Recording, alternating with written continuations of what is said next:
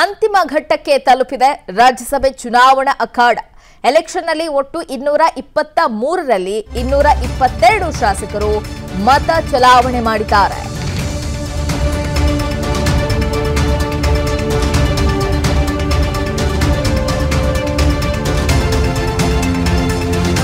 ಬಿಜೆಪಿಯ ಶಿವರಾಮ್ ಹೆಬ್ಬಾರ್ ಮಾತ್ರ ವೋಟಿಂಗ್ ಈಗ ಬಾಕಿ ಕಾಂಗ್ರೆಸ್ ಕಾಂಗ್ರೆಸ್ನ ಮೂವರು, ಬಿಜೆಪಿಯ ಓರ್ವ ಅಭ್ಯರ್ಥಿಗೆ ಗೆಲುವು ಲಭಿಸಿದೆ ಚುನಾವಣಾ ಆಯೋಗದಿಂದ ಅಧಿಕೃತ ಘೋಷಣೆ ಬರೋದೊಂದೇ ಬಾಕಿ ಇರುವಂತದ್ದು ಈಗ.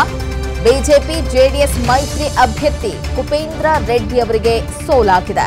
ಅಂತಿಮ ಘಟ್ಟಕ್ಕೆ ಬಂದು ತಲುಪಿದ ರಾಜ್ಯ, ರಾಜ್ಯಸಭೆಯ ಚುನಾವಣಾ ಅಖಾಡ. ಇನ್ನು ಬಿಜೆಪಿ ಹಾಗೆ ಜೆಡಿಎಸ್ ಮೈತ್ರಿ ಅಭ್ಯರ್ಥಿ ಕುಪೇಂದ್ರ ರೆಡ್ಡಿ ಅವರಿಗೆ ಸೋಲಾಗುತ್ತೆ ಅಂತ ಕೂಡ ಹೇಳಲಾಗ್ತಾ ಇದೆ. ಇನ್ನು ಚುನಾವಣಾ ಆಯೋಗದಿಂದ ಅಧಿಕೃತ ಘೋಷಣೆ ಮಾತ್ರ ಬಾಕಿ ಇದೆ.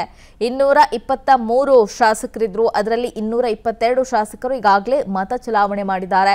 ಬಿಜೆಪಿಯ ಶಿವರಾಮ್ ಹೆಬ್ಬಾರ್ ಅವರ ವೋಟಿಂಗ್ ಮಾತ್ರ ಇನ್ನೂ ಬಾಕಿ ಇರುವಂಥದ್ದು.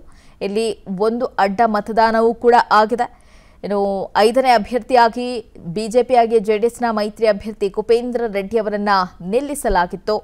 ಹಾಗಾಗಿ ಚುನಾವಣೆ ನಡೆದಿತ್ತು. ಈಗ ಕಾಂಗ್ರೆಸ್ನ ಮೂವರು ಹಾಗೆ ಬಿಜೆಪಿಯ ಓರ್ವ ಅಭ್ಯರ್ಥಿಗೆ ಗೆಲುವಾಗಿದೆ ಅನ್ನುವಂಥ ಮಾಹಿತಿ ಕೂಡ ಸಿಗ್ತಾ ಇದೆ. ಅಧಿಕೃತ ಘೋಷಣೆ ಮಾತ್ರ ಈಗ ಬಾಕಿ ಉಳಿದಿದೆ. ಅಂತಿಮ ಘಟ್ಟಕ್ಕೆ ತಲುಪಿದೆ ರಾಜ್ಯಸಭೆ ಚುನಾವಣಾ ಅಖಾಡ. ಎಲೆಕ್ಷನ್ನಲ್ಲಿ ಒಟ್ಟು ಇನ್ನೂರ ಇಪ್ಪತ್ತ ಮೂರರಲ್ಲಿ ಇನ್ನೂರ ಇಪ್ಪತ್ತೆರಡು ಶಾಸಕರು ಮತ ಚಲಾವಣೆ ಮಾಡಿದ್ದಾರೆ.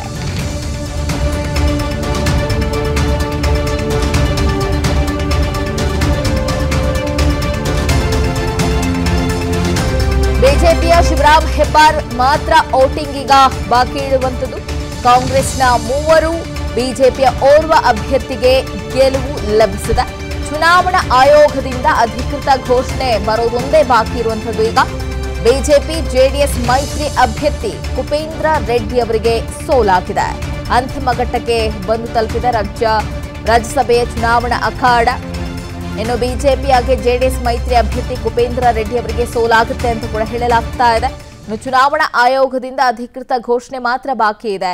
ಇನ್ನೂರ ಇಪ್ಪತ್ತ ಮೂರು ಶಾಸಕರಿದ್ರು. ಅದರಲ್ಲಿ ಇನ್ನೂರ ಇಪ್ಪತ್ತೆರಡು ಶಾಸಕರು ಈಗಾಗಲೇ ಮತ ಚಲಾವಣೆ ಮಾಡಿದ್ದಾರೆ.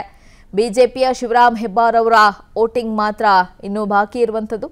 ಇಲ್ಲಿ ಒಂದು ಅಡ್ಡ ಮತದಾನವೂ ಕೂಡ ಆಗಿದೆ. ಇನ್ನು ಐದನೇ ಅಭ್ಯರ್ಥಿಯಾಗಿ ಬಿಜೆಪಿಯಾಗಿ ಜೆಡಿಎಸ್ನ ಮೈತ್ರಿ ಅಭ್ಯರ್ಥಿ ಕುಪೇಂದ್ರ ರೆಡ್ಡಿ ಅವರನ್ನ ನಿಲ್ಲಿಸಲಾಗಿತ್ತು. ಹಾಗಾಗಿ ಚುನಾವಣೆ ನಡೆದಿತ್ತು. ಈಗ ಕಾಂಗ್ರೆಸ್ನ ಮೂವರು ಹಾಗೆ ಬಿಜೆಪಿಯ ಓರ್ವ ಅಭ್ಯರ್ಥಿಗೆ ಗೆಲುವಾಗಿದೆ ಅನ್ನುವಂಥ ಮಾಹಿತಿ ಕೂಡ ಸಿಗ್ತಾ ಇದೆ. ಅಧಿಕೃತ ಘೋಷಣೆ ಮಾತ್ರ ಈಗ ಬಾಕಿ ಉಳಿದಿದೆ. ಅನುಕ್ಷಣದ ಸುದ್ದಿಗಳಿಗಾಗಿ Vistara news YouTube channel subscribe ಮಾಡಿ. ಹೊಸ ಸುದ್ದಿಗಳ ನೋಟಿಫಿಕೇಶನ್ಗಾಗಿ ಬೆಲ್ ಐಕಾನ್ ಕ್ಲಿಕ್ ಮಾಡಿ. Latest ಅಪ್ಡೇಟ್ಸ್ಗಾಗಿ W W W dot Vistara news dot com ವೆಬ್ಸೈಟ್ಗೆ ವಿಸಿಟ್ ಮಾಡಿ. ಅಂಗೈಯಲ್ಲೇ ಜಗತ್ತಿನ ಸುದ್ದಿ ತಿಳಿಯಲು Vistara news Kannada app download ಮಾಡಿ.